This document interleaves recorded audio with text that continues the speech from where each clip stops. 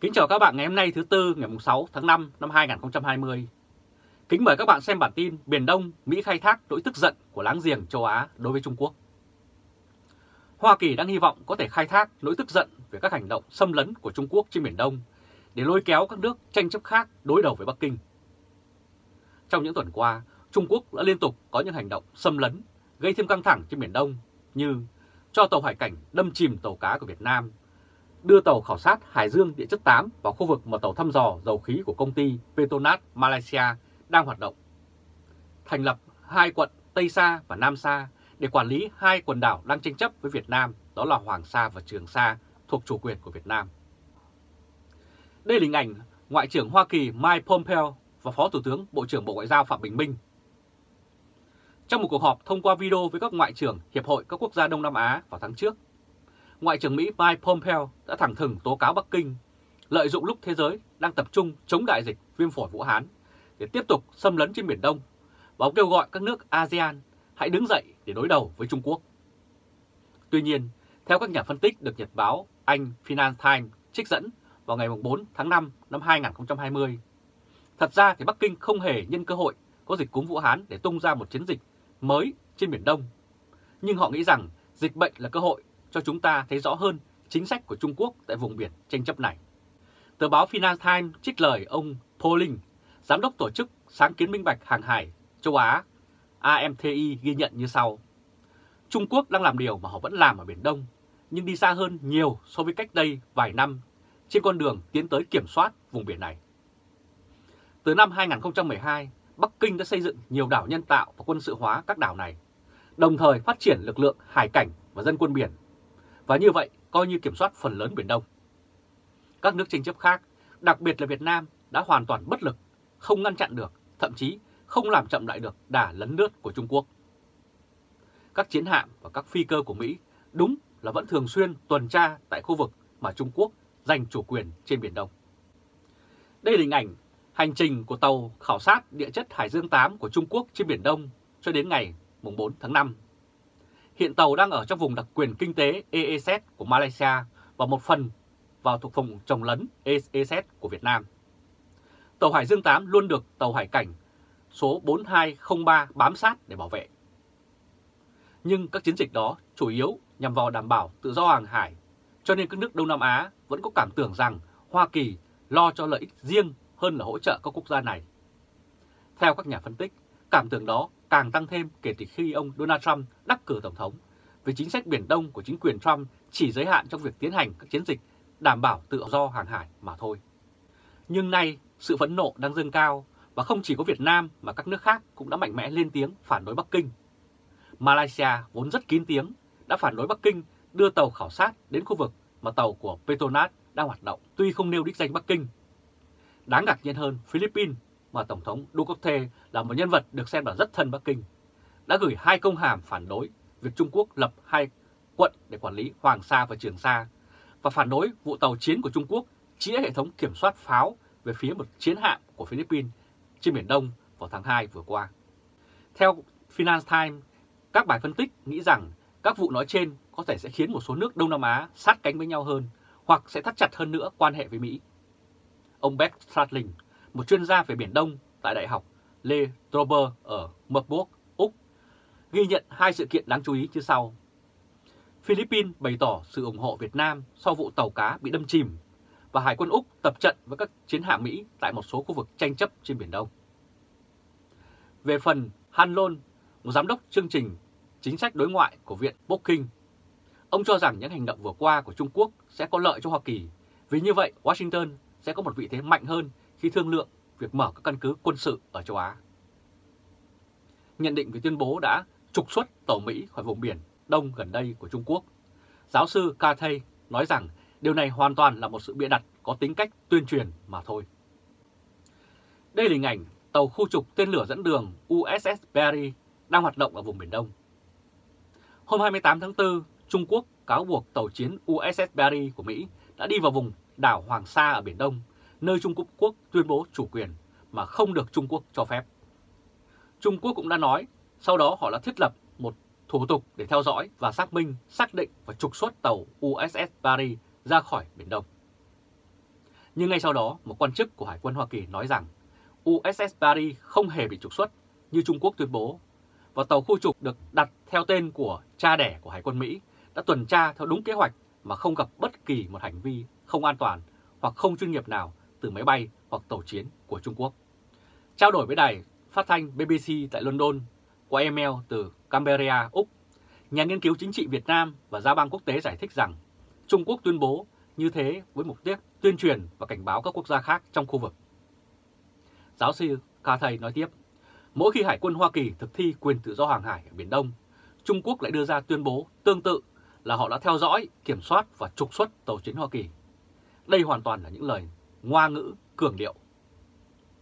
Trung Quốc có phương tiện giám sát để xác định khi nào tàu chiến của Hoa Kỳ đi vào vùng biển mà Trung Quốc tuyên bố là chủ quyền của họ. Và mỗi lần như thế, Trung Quốc thường điều một máy bay để rình rập tàu chiến Mỹ trên biển. Thường thì tàu chiến Hoa Kỳ và nhân sự của Hải quân Quân đội Nhân dân Giải phóng Trung Quốc có liên lạc với nhau trong những lần nghênh chiến đó. Sau khi tàu chiến Hoa Kỳ hoàn thành nhiệm vụ và rời khỏi vùng biển do Trung Quốc tuyên bố chủ quyền, Trung Quốc tuyên bố sẽ họ vừa trục xuất tàu Mỹ. Đây là hình ảnh tàu đổ bộ tấn công USS American của Hải quân Mỹ đang hiện diện tại Biển Đông. Trung Quốc đang sử dụng chiến tranh thông tin để cảnh báo các quốc gia trong khu vực là họ sẽ chịu chung số phận này nếu tàu của họ xâm nhập vào vùng biển mà Trung Quốc tuyên bố chủ quyền. Công bố cường điệu này của Bắc Kinh cũng nhằm vào đối tượng trong nước để chứng minh rằng chế độ Tập Cảnh Bình đang bảo vệ chủ quyền của Trung Quốc một cách cương quyết chống lại chủ nghĩa quân phiệt của Hoa Kỳ.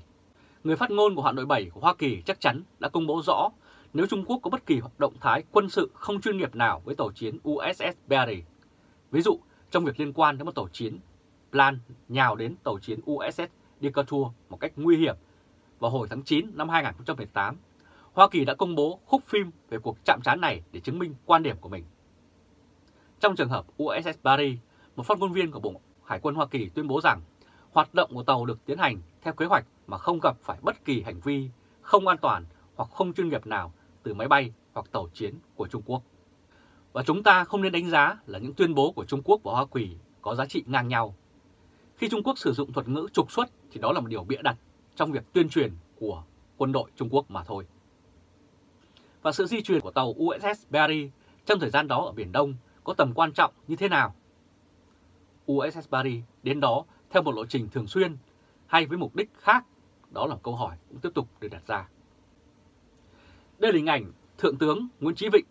của Quân đội Nhân dân Việt Nam phát biểu về Biển Đông vào hôm 26 tháng 4 năm 2020 và cho rằng những lúc như thế này chúng ta sẽ biết ai là bạn, ai là bạn thân thiết, ai là người mà chỉ là đối tác. Những lúc như thế này mới thấy rằng khi đất nước mình gặp khó khăn thì những ai sẽ đến với chúng ta. Giáo sư Cathay nói tiếp như sau. USS Paris có một cuộc tuần tra với mục đích thực thi quyền tự do hàng hải để thách thức những gì Hoa Kỳ cáo buộc là yêu cầu bất hợp pháp của Trung Quốc. Đài Loan và Việt Nam là phải báo trước cho những nước này biết trước khi vào vùng biển gần đảo Hoàng Sa. Trung Quốc đã vẽ những đường cơ sở quanh quần đảo Hoàng Sa. Chúng tôi không có tin tức chi tiết vì đường đi chính xác của tàu US Barry, nhưng có khả năng đó là hành động thách thức yêu sách quá mức của Trung Quốc đối với vùng biển bên ngoài Hoàng Sa dựa trên các đường cơ sở này. Hiện dưới sự lãnh đạo của quyền Bộ trưởng Quốc phòng Mark SP, Hoa Kỳ rõ ràng đã có một sự thay đổi trong chính sách của mình để hoạt động hải quân phù hợp hơn với chiến lược quốc phòng được ban hành vào năm 2018 của nước này. Tài liệu chính sách quốc phòng của năm 2018 kêu gọi các lực lượng Hoa Kỳ phải làm sao thể hiện châm ngôn, chiến lược đoán được nhưng hành tung khôn lường. Chuyến tổ tuần tra của chiến hạm USS Barry được tháp tùng ngay ngày hôm sau bởi việc thực thi quyền tự do hàng hải chưa từng có của USS Bunker Hill ở vùng biển quanh Đá Lát ở Trường Sa. Và ông nghĩ gì về thái độ khá lớn của Bắc Kinh khi bảo quân đội Hoa Kỳ hãy về nhà và tập trung vào phòng ngừa cúm Vũ Hán thay vì đi gây bất ổn cho hòa bình và an ninh khu vực? Câu hỏi này cũng được đặt ra. Hành động quan trọng hơn lời nói, hòa bình và an ninh khu vực ở Đông Nam Á, chưa kể trên toàn cầu đã bị ảnh hưởng nghiêm trọng bởi virus corona xuất hiện lần đầu tiên ở Trung Quốc. Và rõ ràng là ngay từ đầu, Trung Quốc đã đàn áp những báo cáo trong nước về cúm Vũ Hán và không minh bạch trong việc truyền đạt cho cộng đồng quốc tế thấy rằng virus này có thể lây truyền từ người sang người và cực kỳ nguy hiểm. Đây là hình ảnh tàu sân bay USS Theodore Roosevelt đến Đà Nẵng từ ngày 5 tháng 3 đến ngày 9 tháng 3 năm 2020. Đến nay đã có 840 thủy thủ bị lây nhiễm cúm Vũ Hán và một thủy thủ đã tử vong. Các hành động tư lợi của Trung Quốc đã dẫn đến sự lây lan của cúm Vũ Hán, khiến hơn 3,4 triệu người bị lây nhiễm tại ít nhất 187 quốc gia và gây ra cái chết của gần 250.000 người. Giáo sư ca thầy nhận định. Hai chuyến tuần tra thực thi quyền tự do hàng hải gần đây nhất của Hoa Kỳ đã đi và không tạo ra bất kỳ sự suy giảm nào trong an ninh khu vực. Trên thực tế, hoàn toàn ngược lại, Trung Quốc đang bị chỉ trích nặng nề là đã lợi dụng đại dịch để khẳng định mạnh mẽ hơn các tuyên bố về chủ quyền đối với Biển Đông và khu vực, và các nước nhỏ quanh vùng hoan nghênh sự hiện diện của Hải quân Hoa Kỳ. Một câu hỏi tiếp tục được đặt ra, nhắc đến virus corona thì ngoài mục đích thực thi quyền tự do hàng hải, Hoa Kỳ còn có động cơ nào khác khi đưa hai tàu chiến USS Perry và USS Pung Hill đến Hoàng Sa giữa lúc hai nước đang căng thẳng vì Mỹ buộc tội Trung Quốc xử lý sai và giữ bí mật về sự bùng phát của virus khi nó vừa xảy ra? Trả lời, giáo sư Kathai nói cũng có một động lực khác. Thủy thủ Hoa Kỳ trên tàu USS Theodore Roosevelt và tàu USS King đã bị nhiễm virus cúm Vũ Hán. Bộ máy tuyên truyền của Trung Quốc lợi dụng thời cơ này để lập luận rằng Hoa Kỳ đang hoạt động ở một vị trí yếu kém. Trong khi đó, Hoa Kỳ đang cố gắng phục vụ một trở ngại về quan hệ công cộng bằng cách chứng minh rằng Hoa Kỳ có thể duy trì sự hiện diện của hải quân nước này ở Biển Đông. Về mặt này, USS Barry đã tuần tra hai lần qua eo biển Đài Loan vào tháng 4 khi triển khai đến Hoàng Sa. Và USS Bunker Hill đã tham gia với USS American ở vùng biển ngoài khơi Đông Malaysia để chứng minh sự hiện diện của Hoa Kỳ khi lực lượng bảo vệ bờ biển Trung Quốc và tàu khoan Hải Dương địa chất 8 đang quấy rối các hoạt động thăm dò dầu khí của Petronas, công ty dầu khí của nhà nước Malaysia. Giáo sư Cathay nêu quan điểm như vậy. Các bạn vừa theo dõi chương trình truyền hình trực tiếp vào hôm nay thứ Tư ngày 6 tháng 5 năm 2020 với bản tin Biển Đông, Mỹ khai thác nỗi tức giận của láng giềng châu Á đối với Trung Quốc. Các bạn hãy chia sẻ video này cho nhiều người biết và bấm nút theo dõi YouTube và Facebook của Thời báo.de để luôn nhận được những bản tin mới nhất, nhanh nhất và trung thực nhất. Từ Berlin, Cộng hòa Liên bang Đức, chào các bạn và hẹn gặp lại các bạn vào bản tin lần tới.